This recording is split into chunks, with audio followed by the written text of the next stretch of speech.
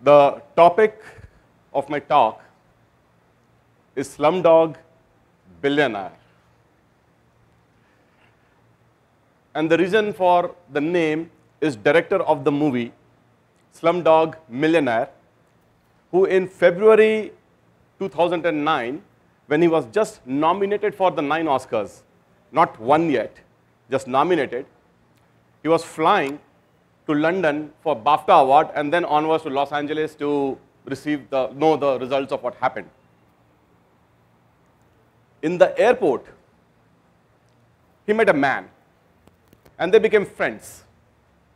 And when they came to the security gate, one of the guys in the security asked Danny Boyle, why did you use the word dog for people living in slum? And like Danny was a little bit flustered. So the, the next guy, he answered for Danny. And he said, the movie is about a person from the slums who everyone thought was like a dog, becoming a millionaire. It's a rags to rich story. It's a story about a nobody to, to somebody, and, and even more. And that answer satisfied the security guard, the security uh, at the check-in, and uh, he gave a smile after that. Later on, the answer uh, kind of earned the other guy an audience with Anil Kapoor, who was waiting for Danny Boyle because they supposed they were in the crew of the movie, and uh, and it also earned a pardon for for that guy because he confessed that he watched the movie Slumdog Millionaire on torrent on BitTorrent. So now the question is, how do I know this story? I know this story because that guy was me.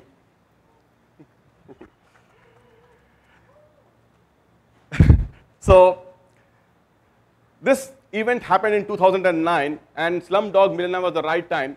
Now that I was given an opportunity to speak for TEDx Dharavi, Dharavi being one of the largest urban slums in the world, I really thought that it's time to upgrade the title. And the correct title should now be Slumdog Billionaire because now we have something by which a person need not just win a quiz competition to become a millionaire. There is something else which will make him a billionaire in really short time.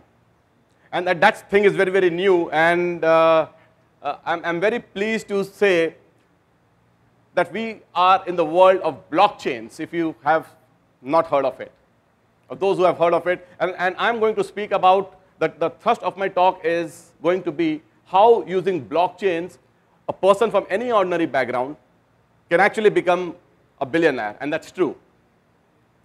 Uh, let's imagine a country called blockchain land. And I, I, really thought how to explain you blockchains because blockchain is a technical, uh, it's, it's, a, it's a technical public le decentralized ledger. So it's a very technical, uh, technically intensive term.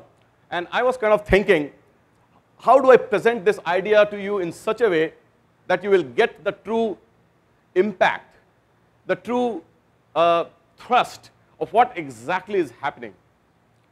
So, so this country, blockchain land, is an amazing wealth generator. To give you an example how much wealth this country generates, New York, as, as the, the whole real estate in one of the, the most, like the, the real economic center of New York, which is Manhattan Island, today is about 700 billion dollars. Manhattan was purchased by the Dutch people originally for just $24 of worth of goods of the skins that they gave to the Native Americans. So over 400 years, that $24 became 700 billion dollars. Blockchain land on on comparison, created the same amount of wealth, $700 billion, in exactly eight years, starting from 2009. And the very first year, it did nothing. It did not even produce a cent of it. 90% of that wealth in blockchain land was created actually in last one year. So it's accelerating. The wealth creation is, is, is getting accelerated. Now, blockchain land as a country is available to you right sitting at your home or wherever you're sitting if you have access to internet, if you have access to mobile phone, if you have access to a little bit of knowledge and, and access to how to learn something new, you have access to blockchain land. And blockchain land essentially creates wealth because of two big rules, which is not present in countries around the world today. The first rule is every one person in the blockchain land can create his own rules, own rules. He has the power of his own rule making. And the second rule in blockchain land is every person can create his own money. He can create his own wealth as well. In traditional countries, all these powers have been centralized with governments. The power of rule making is with, with uh, either the parliaments or by dictators or by the monarchs. And the power of creating wealth also has, lies with all the governments. Government has appropriated that function. And as a result of which, it turns out with, with what has happened in blockchain land over the last nine years, it has made a huge difference in amount of wealth which is being generated. It has made difference between I would say, uh, poverty and being extremely, extremely, extremely rich. Blockchain land has produced at least 25 billionaires in last one year. Now, the next question is how, how can you do things in blockchain land? How do you create things in blockchain land? How do you make money out of blockchain land? So let me introduce you to world's first first blockchain resort. In blockchain land, what you try to do is you create, you redefine economic relationships to suit the needs of blockchain land. So you create, you convert every expenditure, every spending, you, create, you convert every financial transaction essentially into a financial asset. So first, let's just take a small physical tour of, of, of this blockchain resort and then we'll tell you how exactly, uh, how exactly this operates. So this is the main gate. This resort is in Bali, Indonesia. The name is Ranchi Mall Blockchain Alampuri Museum Spa and Resort. We have done this. Ranchi Mall has done the world's first blockchain resort. And it's been done in Bali, Indonesia because it's, it's just friendlier to do it at that point of time. Now, as you enter through the Satoshi Nakamoto drive, Satoshi Nakamoto is the person who created the first known blockchain called Bitcoin. You will pass through Ethereum gate, which is another blockchain, towards a statue of Ganesha. Bali being a Hindu country, Ganesha, like, like in India, is there, you know, as a prominent uh, auspicious start symbol for anything. And then you have different villas, and all villas are named after different blockchains. So on the left, we have Ranchi Mall tokens, which is a private token that we ourselves created in a private group just to understand the rules of blockchain. And, on, and then we also have a villa on the name of Florincoin, which is called Flow Villa. And Flow is another blockchain. It's a very, it's a very, it's, a, it's an emerging blockchain. And of course, you have every villa has paintings. It's, a, it's, a, it's, an art museum. So you have the painting here, the painting of Riddhi, which is one of the, the leading painters of Indonesia. So, so this resort, typically when you buy a hotel or resort, you pay for the rooms. Here you don't pay for the rooms. You buy an investment right, you buy the tokens of this blockchain resort. And with the economics of blockchain, these tokens are growing so fast that it just turns out that you don't have, if, if the rules, the supply and demand metrics are met properly, the valuation can go up so fast, like Bitcoin went all the way from 0.004 cent up to currently $9,000 per Bitcoin in a very short span of time. The value of these tokens go up so fast that you, you can buy any number of room nights if you were earlier in the game, if you could, if you could come earlier in the game. Time is money. So what do you do? Now, if you want to create, if you have an asset, if you want doing some business, and if you want to, to participate in the enterprises of blockchain land, what should you do? So obviously, the first thing is you should try to convert your existing business or business customers, try to make them their investors. And you can actually do it in such a way by which your customers are not paying anything extra. But you have to somehow eke out, you have to somehow extract a little bit of time. Maybe you ask your customers that, can I, is it, if, if you would like, we would get you, if you are selling leather bags, we'll get you leather bags, but you have to wait maybe a month extra. Buy a little bit of time from your customer and give him what he wants for the money that he pays. But in that one month, you can route that money through your tokens. You could, you could give your customers your token, and over a period of time, as customers, more customers starts coming in, the, the token will get value. Getting that initial value is the most difficult task. Getting your tokens in the blockchain land, giving them initial value is the most difficult task. Once you give them initial value, then it's very easy game. Because as the price starts going up, your customer starts telling their own friends, uh, your friend starts knowing it, all of them start coming in, and then it's a very easy game. But to, to get the start, that's when, that's when uh, is, the, is, the, is the tough one. And if you, let's say, somehow create your tokens, what I have realized from my experience of Ranchi Mall tokens, there are three things that you should take into account. The first thing is you have to always make sure supply of what you are offering, the tokens that you're offering, has to be lower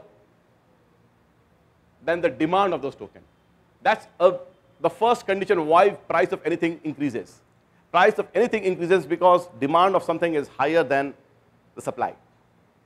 The second condition that you have to make sure is that assuming you raise, you can actually raise some funding. You can, you can also sell your tokens or coins directly. You can, anyone can do that in blockchain land. There's, blockchain is on internet space, and you don't need anyone's permission. So when you sell your tokens, and you can sell your tokens everywhere in the world. You can sell it in Indonesia, you can sell it in US, you can sell it in UAE, in India. When you sell your tokens, you got to make sure that those, that those uh, the money that you spend should last enough so that tokens have had enough time to grow in value. If the tokens have had enough time to grow in value, then you will have a chance to have a second round of fundraising by selling more tokens because you have already given proven that your tokens are good by demonstrating its increase in value. In case of Ranchi Mall, it went a little bit crazy. So our token started at about $1 and within one month, actually two months, it went to $980. That's where it stands right now. So it's like it was about 980 times price appreciation. And it was so fast appreciation that I had to put in some extra rules because we didn't want it to go bust and we didn't want our, uh, our investors to get hurt. Uh, in Ranchi Mall, we, we, uh, we try, we, the, the, idea is to be a long-term investors so that the, all the long-term investors can be, uh, you know, uh, they, we don't want to lose any customer for faith issues. So those are the rules of, of blockchain land. Now, now I'm going to give you a blueprint as to how you can transform the slum enterprises. Uh, 900 million people of the, of the world, a quarter of urban population, they live in slums. And most of them are living in extremely concentrated lands. Uh, in Dharavi, for instance, an area of 535 acres sustains of up to a million people. And, and those people, of, of course, most of the people, they go, go out in the city and they work, but they have also created an economy in themselves. So for instance, in Dharavi, you have leather industry, you have textile industry, you have uh, pottery, you have embroidery, and a lot of recycling. And the turnover of all these industries is estimated roughly around more than a billion dollar. Now, assuming all these industries were to come on blockchain, and what we have done is we have created something called the Dharavi blockchain contract, a sample contract, because we believe that uh, a lot of you will take some ideas and go away. And uh, there has to be a way forward for if someone of you wants to really act on it, there has to be a way to way forward. So we have created a sample template blockchain contract, and we, we will provide all the technology. And what it will do is that it will enable the industries in Dharavi to get onto the blockchain land. And the money that will raise will go back directly to those industries. And it's very easy to find out what are those industries that are doing well. It are those industries that are, that are participating in the token system. Uh, they, are, they are giving investors to the token, token raise. So the ones who raise, the, the industries that are more active with their customers, they are the ones who should, it's fair to say they are the ones who should get the money back. And then you can spend a lot of that money into marketing those enterprises because uh, in India, people don't spend so much on marketing. So you, the first area is to improve the marketing spends, and then obviously improve the technology and Im improve their reach, you know, so that they're higher up in the supply chain directly to the customer. In this case, most of the customers will come from the blockchain land itself once they are really, that, that's the kind of integrations which are happening, which you are seeing in different blockchains. So we have posted this, the details of the blockchain contract on Medium. If you search Ranchi Mall medium Dharavi blockchain contract. Those keywords in Google, you will come to the link. And you can find the technical details out there. And uh, we'll keep on updating if we get volunteers who will want to take, take this forward. So I started with an airport meeting of Danny Boyle, and uh, there's another meeting I want to talk about. And uh, this meeting is actually about me, meeting someone who made it big in blockchain, and it happened in May of 2017. And he was telling me that he has created his own tokens, and because of his tokens, he converted his industry, his, his industry, all his customers came onto, uh, onto blockchain, and the token value appreciated five times, which let him getting more customers, and which also let him increasing his own net worth. And now he, he was actually going to New York in business class to set up a shop in Soho district next to the world famous brands like Gucci and Chanel. Looks like I, I, I, got the date wrong. Oh, did I tell you it was May 2017? No, that's, that's wrong. It's actually May 2022. It's in future. And how do I know this? I know this because that person is you. No. Thank you so.